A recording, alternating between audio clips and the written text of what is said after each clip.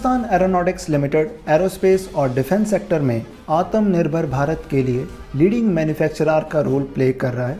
इस state owned airframer के पास इंडियन आर्म्ड फोर्सेस को इंडिजिनस फाइटर जेट्स ट्रेनर्स और हेलीकॉप्टर्स डिलीवर करने के लिए बहुत सारे ऑर्डर्स हैं। यह इन दिनों से बहुत दूर है जब एच को एक प्रॉब्लम चाइल्ड माना जाता था और अब इंडियन आर्म्ड फोर्सेस की मॉडर्नाइजेशन में एक लीडिंग मैन्युफैक्चरर की तरह उभर कर सामने आया है। कुछ लोग तो इस तथ्य से नाराज़ होंगे कि एच इंडियन आर्म्ड फोर्सेस की मॉडर्नाइजेशन में एक इंपॉर्टेंट रोल प्ले करेगा, पर कुछ लोग सवाल उठा सकते हैं कि क्या इस स्टेट ऑन्ड एंटरप्राइज को मोर एफिशिएंट और वर्ल्ड के एरोस्पेस सेक्टर में कॉम्पिटिटिव बनाने के लिए सरकार द्वारा पर्याप्त प्रयास किए गए हैं या नहीं? यह निश्चित रूप से एच के लिए पुरानी मीडियोकर परफॉर्मेंस रेपुटेशन को चेंज करने का सबसे अच्छा समय है क्योंकि 31 मार्च 2023 की ऑर्डर बुक के अकॉर्डिंग एच के पास इक्यासी हज़ार करोड़ से ज़्यादा के ऑर्डर्स हैं। फरवरी 2021 में डिफेंस मिनिस्ट्री ने एच के साथ 83 Tejas mark one A fighter jets के लिए लगभग 48,000 करोड़ का कॉन्ट्रैक्ट साइन किया था जिसमें से करीब 45,700 करोड़ के 73 Tejas mark one A fighter jets और 10 10 Tejas, mark one A, trainers के साथ डिज़ाइनिंग और डेवलपमेंट और इंफ्रास्ट्रक्चर के लिए 1200 करोड़ एलोकेट किए गए थे।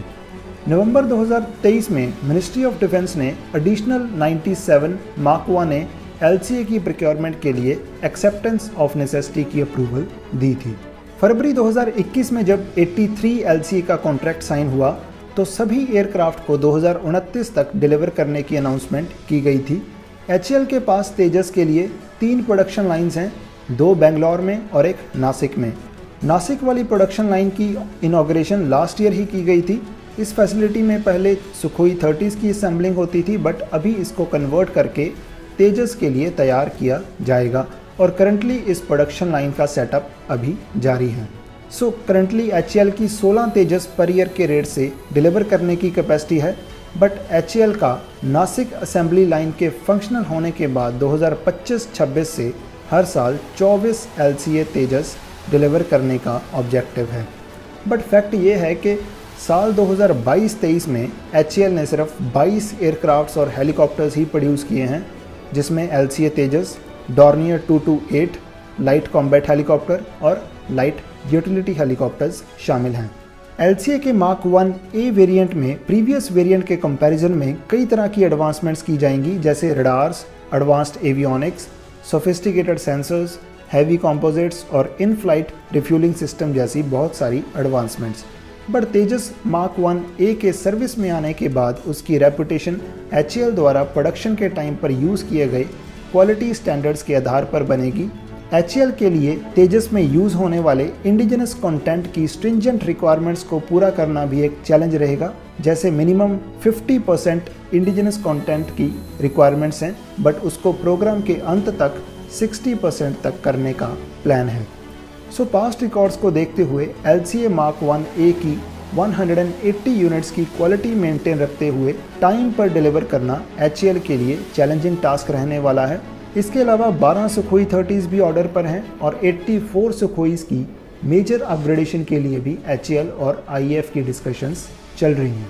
इसके बाद ट्रेनर एयरक्राफ्ट्स की बात करें तो अक्टूबर 2022 में डिफेंस मिनिस्ट्री द्वारा एच को 7000 करोड़ वैल्यू का कॉन्ट्रैक्ट दिया गया था, जिसमें H H T T forty basic trainer aircrafts की 70 यूनिट्स डिलीवर करेगा। पूरे ऑर्डर को 2028 तक पूरा किया जाना है जिसमें एच को सितंबर 2025 तक पहला ट्रेनर एयरक्राफ्ट डिलीवर करना है।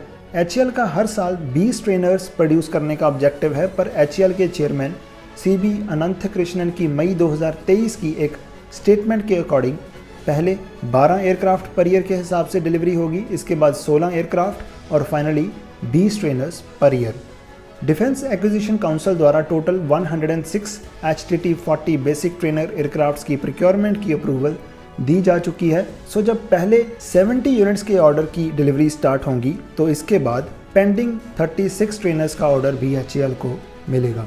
H T T forty trainers air force के लिए बहुत क्रूशल हैं, क्योंकि IAF के पास Swiss built P C seven basic trainers की अराउंड 75 यूनिट्स हैं बट एयरफोर्स को basic flight training aerobatics instrumental flying और क्लोज फॉर्मेशन फ्लाइट्स और कई तरह के रोल्स जैसे नेविगेशन और नाइट फ्लाइंग ट्रेनिंग के लिए एडिशनल बेसिक ट्रेनर्स की ज़रूरत है।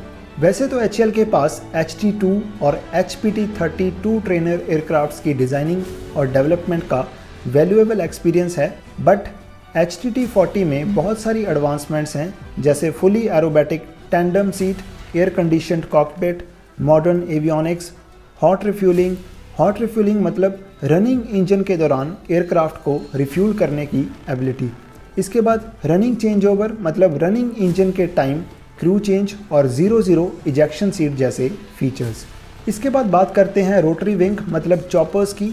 एच द्वारा प्रोड्यूस किया गया advanced light helicopter Dhruv Indian armed forces में पूरी तरह इस्टेब्लिश हो चुका है।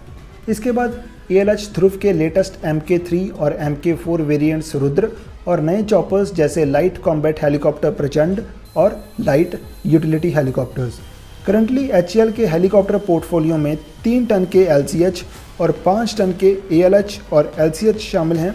एच एल तेरह टन के IMRH Indian multi role helicopter पर भी काम कर रहा है।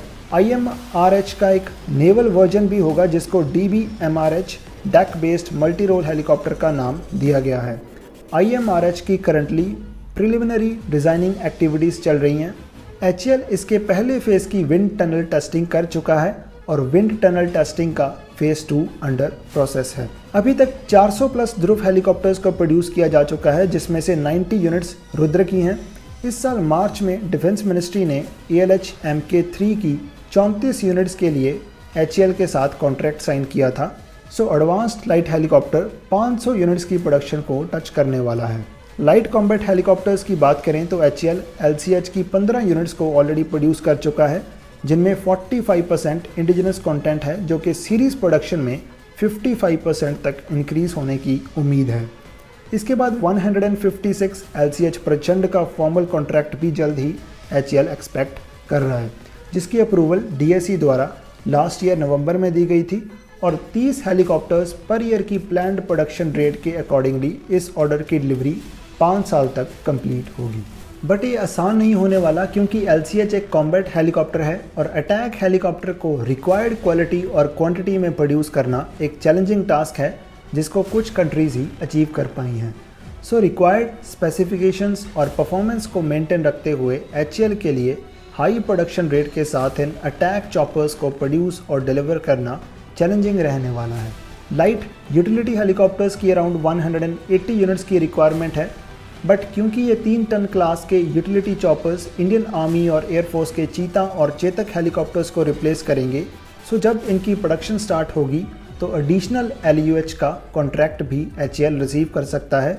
बट अभी एक्सपेक्टेड 180 यूनिट्स की अप्रूवल भी डीएसी द्वारा पेंडिंग है। लास्ट ईयर फरवरी में प्राइम मिनिस्टर द्वारा इंडिया की largest helicopter factory greenfield helicopter factory की इनाग्रेशन की गई थी। इनिशियली इस फैक्ट्री में लाइट यूटिलिटी हेलीकॉप्टर्स की प्रोडक्शन स्टार्ट होगी। इसके बाद लाइट कॉम्बैट हेलीकॉप्टर्स और इंडियन मल्टी रोल हेलीकॉप्टर्स को भी यहाँ प्रोड्यूस किया जाएगा। इनिशियली 30 हेलीकॉप्टर पर ईयर के रेट से मैन्युफैक्चरिंग होगी, जिसको बाद में ऑर्डर्स के हिसाब से 60 और मैक्सिमम 90 तक इंक्रीज़ किया जा सकता है। सो so, ये फाइटर जेट्स ट्रेनर एयरक्राफ्ट्स और हेलीकॉप्टर्स के करंट ऑर्डर्स और एच की प्रोडक्शन कैपेसिटी की एक सिंपल पिक्चर है। अगर हम इंडिया के पुराने इंडिजिनस मिलिट्री एविएशन प्रोग्राम्स को देखें तो insufficient funding low order volumes और एडवांस्ड टेक्नोलॉजी में एक्सेस की कमी के कारण बहुत टॉर्चरस हिस्ट्री रही है। पर अभी इन सब चीज़ों को काफ़ी हद तक दूर किया गया है। और गवर्नमेंट की स्ट्रॉन्ग सपोर्ट और लार्ज ऑर्डर्स के कारण एच की हिस्ट्री में ये मोस्ट अपॉर्चुन मूवमेंट है, जहाँ उसके पास न सिर्फ़ डोमेस्टिकली बट एरोस्पेस सेक्टर में इंटरनेशनली भी इमर्ज होने के पूरे चांसेस हैं। इस डेकेड के लास्ट तक हमारे पास इस बात का जवाब होगा कि क्या एच इस अवसर का पूरा लाभ उठाने में सक्षम था, या फिर उसने इस मौके को भी फिसलने दिया।